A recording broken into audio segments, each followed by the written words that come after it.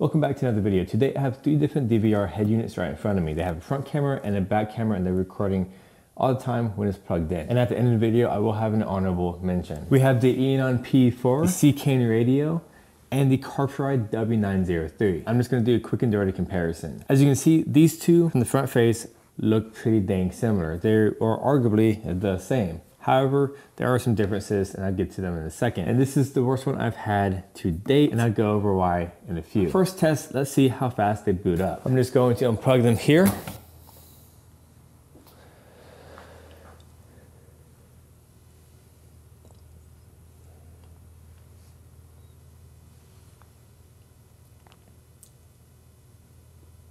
So I think this one was the fastest. This one's right behind it because it's, and finally this one. Now what I find pretty interesting is that these two boot around the same time. However, the price differences is pretty vast. So let's go over the physical differences between these head units. So to do a direct comparison, here's the Carpuride unit. Front fascia looks pretty dang similar except it has Carpuride written right there. If you look at the Eonon, the bezel does look quite different between this, the Carpuride unit and the Eonon. So the Eonon has, I'd say a little bit thicker of a bezel and the mic is in a different location compared to the Carpuride.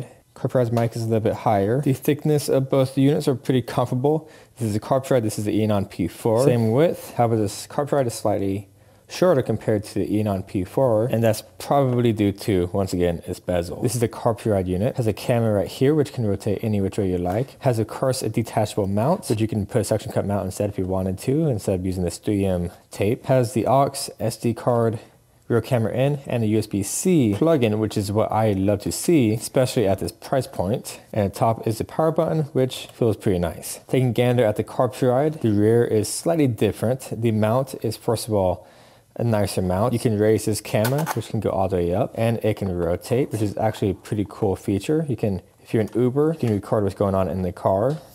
And of course, you can raise the mount and lower it which is pretty cool. Coming to the side, we have the aux, SD card, rear camera in, and USB-C once again. So pretty much the same thing back here. And power button is placed to the side on the Carpuride unit, which feels a little bit nicer compared to the Eonon P4. And I guess it's time to mention the Seicane radio.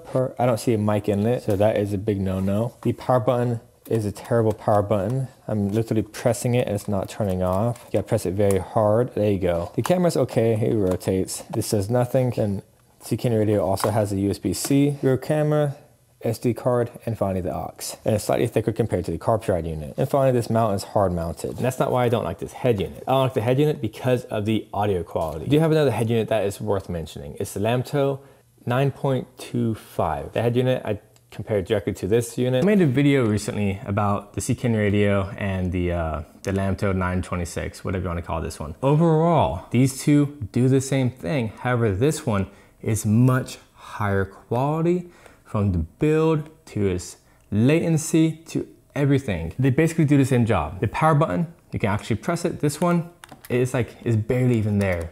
That's not why this one is so bad. It's so bad because it can't do the main thing it's supposed to be doing, and that's connecting to your radio via FM transmission. The audio quality is so terrible. See, listen to this comparison.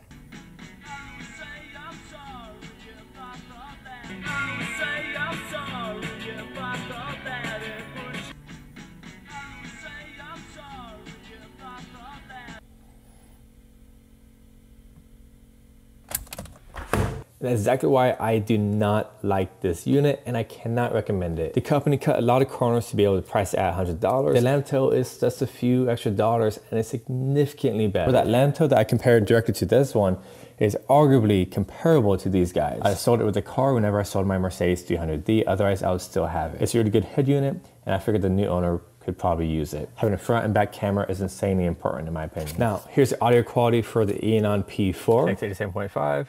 Let's play.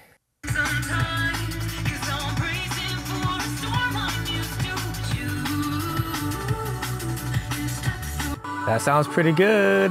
Go home, go, we can press FM here to change the audio output. We do Bluetooth connection.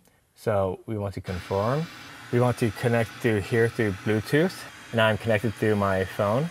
If you have another unit that also uses CarPlay and you're trying to do both units, you, you go to the Bluetooth connection connected to the, your stock unit, press this, and turn off CarPlay so it doesn't connect to that unit and have issues going back and forth. So I'm only connected to that unit via CarPlay, to this head unit via Bluetooth, but also connected to that head unit via Bluetooth using Apple CarPlay.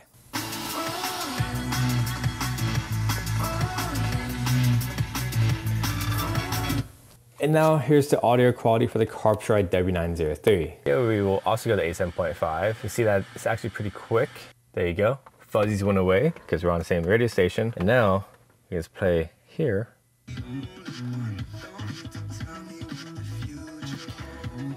And as you can tell, that sounds significantly better. Play either on your head unit or here.